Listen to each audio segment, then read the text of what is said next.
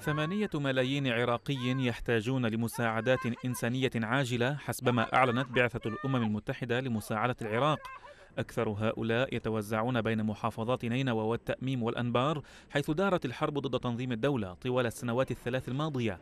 تلك الحرب التي خلفت دمارا كبيرا دفع مجلس النواب إلى إعلان عشرين مدينة وبلدة عراقية كمناطق منكوبة. ما يعني وفقا للقانون العراقي أن يتم تسخير كافة إمكانيات الدولة لها بما فيها موازنة الطوارئ والتركيز ماليا وخدماتيا على تلك المنطقة.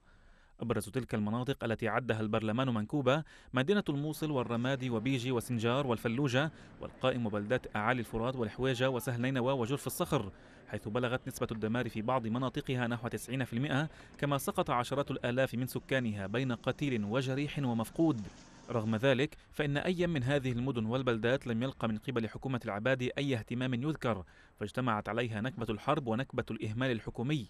واقع مأساوي يؤكده مسؤولون بوزارة التخطيط في حكومة العبادي بالقول إن الأمم المتحدة والمنظمات الإنسانية العربية والدولية قدمت لسكان المناطق المنكوبة أكثر مما قدمته الحكومة لها.